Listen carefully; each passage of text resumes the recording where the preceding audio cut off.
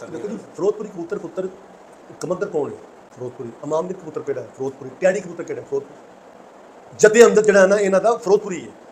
ਤੇ ਉਧਰੋਂ ਹੀ ਕਬੂਤਰ ਮਾਈਗ੍ਰੇਟ ਹੋ ਕੇ ਸਾਰੇ ਕਬੂਤਰ ਆਏ ਨੇ। ਅੱਗੋਂ ਨਿਕਨੇਮ ਨੇ। ਅੱਗੋਂ ਨਾ ਜਿਹੜੇ ਕਬੂਤਰਾਂ ਦਾ ਮਾਮਦੀ ਨਾਮ ਪਿਆ ਗਿਆ ਟੈਡੀ ਨਾਮ ਪਿਆ ਗਿਆ ਕਮਾਂਡਰ ਵਾਲੇ ਪਿਆ ਗਏ ਨਿਕਨੇਮ ਨੇ।